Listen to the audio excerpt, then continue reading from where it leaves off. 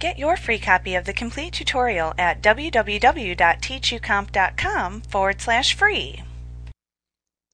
Because it lets you design pages visually, it's tempting to treat Dreamweaver like an image editing program.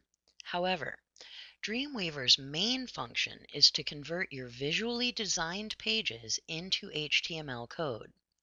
Therefore, using Dreamweaver to modify images is not always the best idea. As you've heard in previous lessons, it's always a good idea to open an outside image editing program if you're resizing or cropping an image. Imaging programs like Adobe Photoshop are also very helpful if you want to display a rare typeface on your site. You can convert text into an image using these types of programs.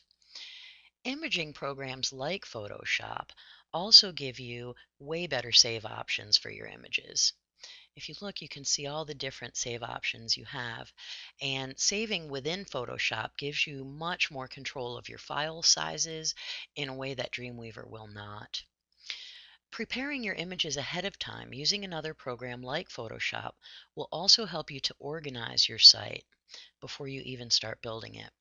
This will undoubtedly spare you some headaches in the long run. Additionally, you may know more at this point about your image editing software than you currently know about Dreamweaver.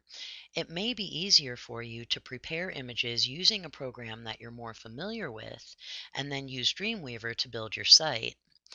Most professional web designers prepare both the text and the images for websites before they ever open Dreamweaver.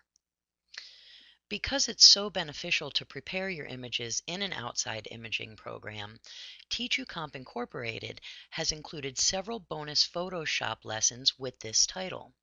They will teach you how to crop, resize, and save files using Photoshop. To learn more about Adobe Photoshop, please use Teach-U-Comp Incorporated's Mastering Photoshop Made Easy title.